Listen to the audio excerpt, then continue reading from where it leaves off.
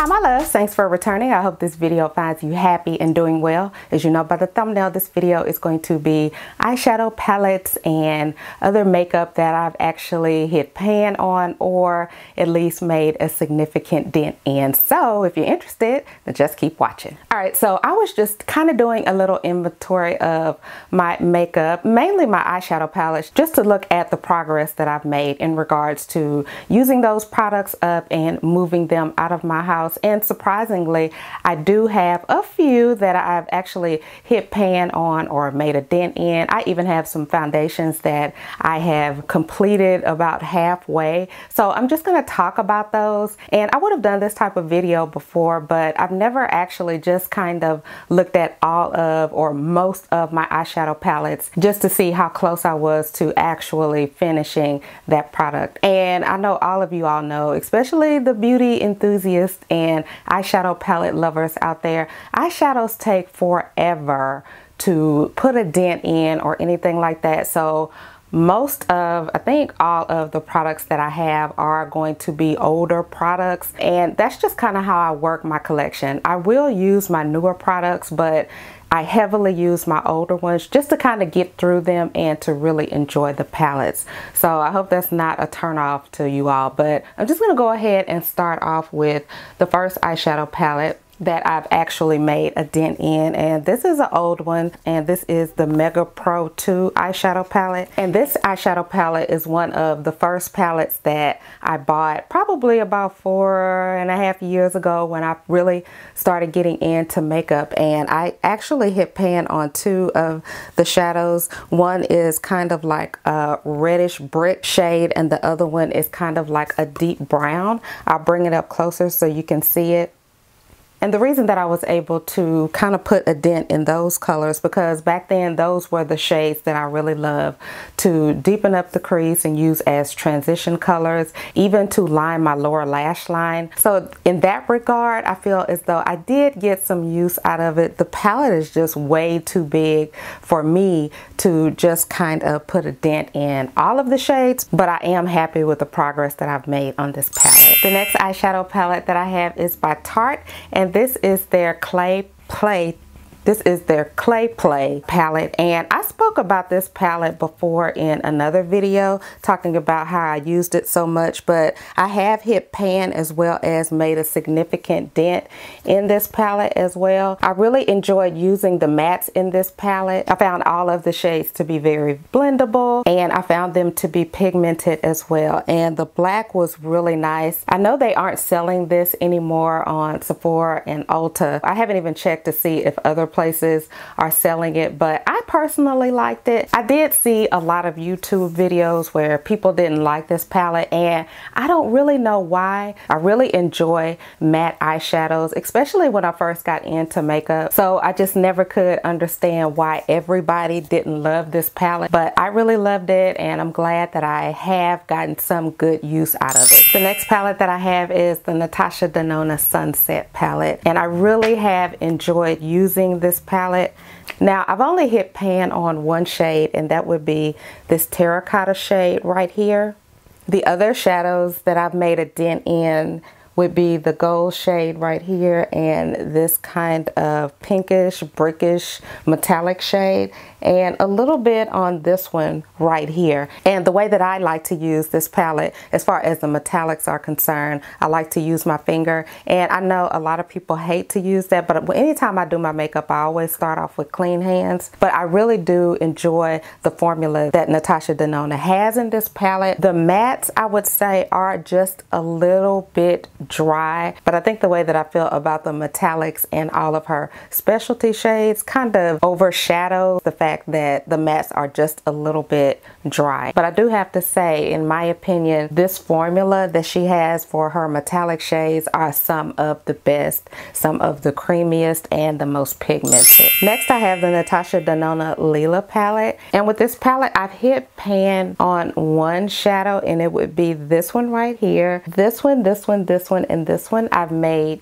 dents in as you can see and again this is a palette where I'm really enjoying the formula that she has uh, for the metallics and her specialty shades. They're just really creamy and pigmented and they blend very well. Now, what's weird uh, to me, the mattes in this palette aren't quite as dry as the ones in the Sunset palette. So I found myself gravitating to this one more as far as the mattes are concerned. But again, I am happy that I have gotten some good use from this palette. All right, I have another Natasha Denona palette and this is from, this is one of her holiday palettes from a few years back. And let me hold it because this is the one where a lot of her eyeshadows were popping out. But I've hit pan on this blue right here. I don't know if you can tell, but the formula of this shade is absolutely beautiful. I just have to swatch it for you so you can see I mean, it's just absolutely gorgeous. And up close, it has little small specks of glitter added to it. It's just really, really pretty. And this would be a shade that I would always probably add as a topper to any of my looks or use it as an inner eye highlight, just all kinds of things. And by the shadow being so smooth and creamy to use, it's just kind of easy to gravitate to a shadow like that. All right, so the next one that I have is this Moschino palette. And I want to say that this came out last year. I think it did. And I have really enjoyed using this palette. Now, what's interesting about the shadows in this palette is that the formula of all of the mattes was not consistent consistent, but that didn't stop me from using it anyway. I really did enjoy using this blue up here. So let me tell you which ones I've hit pan on. I hit pan on this metallic and made a dent in this shade, this one, and this one. And let me show it to you. And the way that I would use the metallic shades in this palette is either with my hand or I would use a very small, small paddle brush.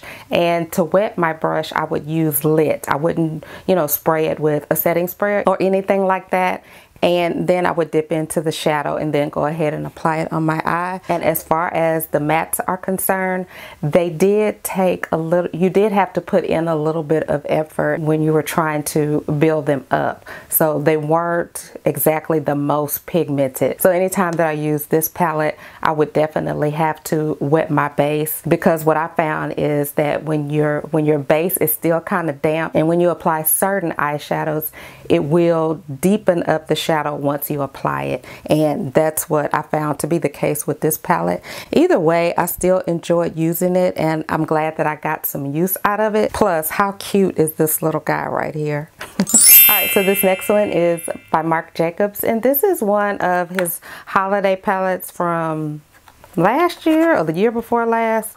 It's hard for me to keep up, but I've only made a dent in two of these shades, and it would be this blue and this topper shade right here and the way that I used to use this palette is that this topper sh this shade right here is a topper shade so I would pull this palette in to kind of to add to any look that I wanted some kind of cool special effects. Um, it's really pretty and this metallic purple was really pretty too. And even though you can't tell in the pan, it's more like a duochrome type of purple. It was just really pretty anytime that I used it. This shade right here, even though I haven't hit pan on it, this one is a really pretty one too. Marc Jacobs metallics and shimmers I found them to be very very pretty. And I basically used this palette as a companion palette.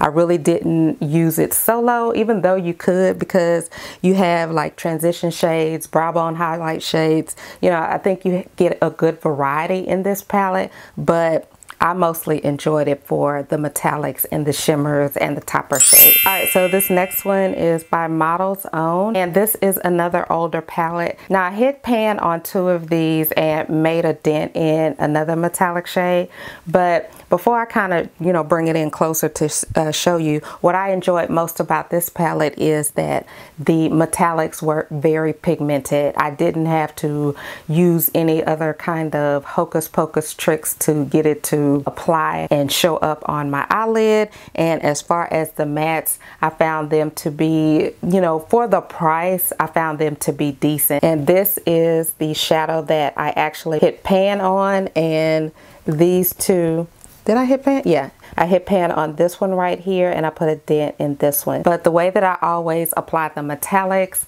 on this pat with this palette is with my finger and it just you know I would just kind of dig it in and just I like to put my metallics typically just on the inner part of my eye which I'm sure you all probably can tell already by my eye looks that I do but I just kind of find that to be a quick and easy way to go ahead and get your eye look done and finished. And as far as the mattes in this palette I found them to be just a little bit dry definitely not super pigmented. This, these are definitely shadows that you're gonna have to build up as far as the mattes are concerned. But for as much as it costs I think this was like $10 between 5 and $10 not much. I think it's a really good palette. All right so this next palette is by Tarte. This is the make believe in yourself palette and I've only put a dent in two. However I love this palette. Um, it still smells good to this to this day and these shadows are very metallic You don't need a lot of tricks to get this one to work. For those of you all who have this palette, you know exactly what I'm talking about. But I've only hit pan on these two right here. Well, not hit pan, but I've only made a dent as you can see in those two right there. And the reason that it's those two is because back then those were typically the shades that gravitated to just really pretty. Yeah, this is one of my favorite palettes even to this day. The next palette that I have is a pressed powder and this is by Black Radiance. Comes a little compact like this and I love this. I love it, love it, love it. I use it to contour with, and that's because of the shade. Um, it's just really pretty. So I've hit pan on that one. So the next palette that I have is by Kat Von D, and this is the Divine palette. And I've only hit pan, not hit pan, but made a dent on one of the shadows, and that would be Hard Magic, which is right here. Um, I think you can see the dent and every single eyeshadow look that I do I use this black because it's one of the blackest blacks that I have. And I'll put my eyeliner on and after I put my eyeliner on I go over it with a brush like with a with a brush like this. Okay and I'll go in it and get as much eyeshadow as I can and then I'll line I'll go over the eyeliner while it's still wet I'll use like a felt tip eyeliner and then I'll go over it with a black matte powder because I want it to be super, super black and matte. And I'll go over it about 50 times literally for each eye. so that's why I have a dent in this one. But this is one of the blackest blacks. And I want to try Natasha Denona's Blackest Black. I've heard that that's a really good black, but I just love after I apply my eyeliner up here with either a gel eyeliner or a felt tip eyeliner, it just depends, and then go over with a matte black. I think that is the prettiest type of look. I have three foundations. One is the Smashbox Studio Skin Foundation, and I've, I'm almost finished with that. Can you see that? Okay, almost finished with that one. So I'm really proud of myself about that. And then I also have the Rimmel Lasting Finish 24 Hour Breathable Foundation. And that is down to here. Can you all see that? And then the last foundation that I'm almost, well, halfway finished with is the Revlon Color Stay. And I know you all are all familiar with that and foundations are some of the hardest to get through. I have other foundations that I have, uh, I am making a dent in it, but I haven't quite gotten down to 50%. So when I get to that point and when I make more progress with more eyeshadow palettes and things like that, I'm going to do another video. So I hope that you all enjoyed this video. Let me know down in the comments if you have hit pan on any of your eyeshadow palettes. And if so, which ones? I'd love to hear about it.